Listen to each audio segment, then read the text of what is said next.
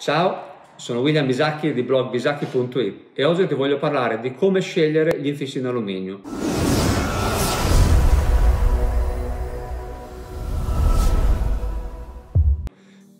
Spesso ci si concentra un po' troppo sulla marca, invece il consiglio che ti voglio dare è prima di scegliere l'azienda. E infatti è più importante l'azienda che ti dovrà costruire la finestra, che ti dovrà posare la finestra e ti dovrà dare l'assistenza nel tempo, essendo l'infisso un bene a lunga durata, se hai fatto la scelta giusta, più importante della marca stessa. Quindi scegli l'azienda di fiducia, eh, chiedi pareri in giro, cerca le recensioni, leggi le recensioni. Una volta che hai trovato l'azienda giusta, che, che veriti eh, veramente in gamba per il lavoro che devi fare, a quel punto ti puoi concentrare sull'infisso.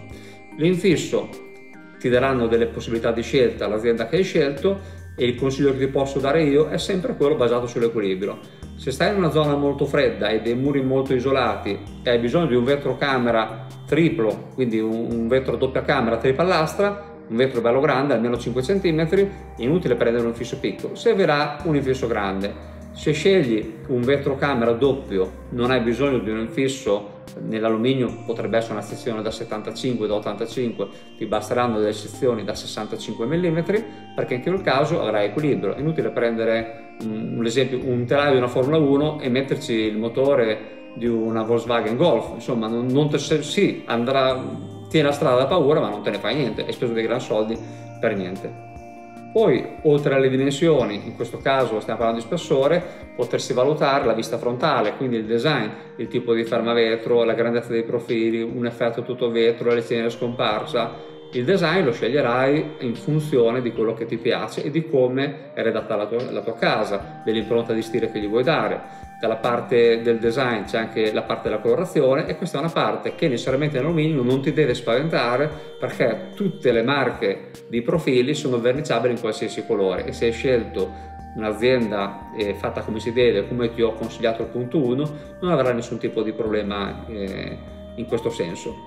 Se invece vuoi fare il contrario, perché non mi vuoi stare a sentire, ma va bene, va bene, ci sta, se ti innamori di una marca, come ad esempio Sciupo, perché fa dei prodotti veramente, veramente belli, in quel caso puoi vedere eh, la marca, ok, mi innamoro di quel serramento, guardo la sezione, quello che mi piace di più, il design, tutto quello che abbiamo detto prima e poi scelgo l'azienda che secondo me è più affidabile. Come la scelgo? Eh, devo guardare un'azienda che fa quel tipo di marca lì e ti sconsiglio di andare da un serramentista che non ha mai usato quella marca, anche se lavora bene, perché qualche cavolata potrebbe farla. Quindi scegli chi già produce quel tipo di marca e tra quelli che hai trovato, guarda, può essere quello più vicino, ma può essere anche lontano perché se è un lavoro grande comunque le aziende si spostano, si sono strutturate e guarda quello che ha le recensioni migliori, guarda l'azienda più seria e poi perché no anche quello che a pelle ti sei trovato bene perché non è un rapporto sentimentale, però fornitore cliente, cioè comunque il rapporto deve funzionare perché ci deve essere dell'intesa, ci deve essere che se il fornitore dice una cosa, il cliente capisce quello che ha detto e se il cliente dice una cosa, il fornitore la capisce.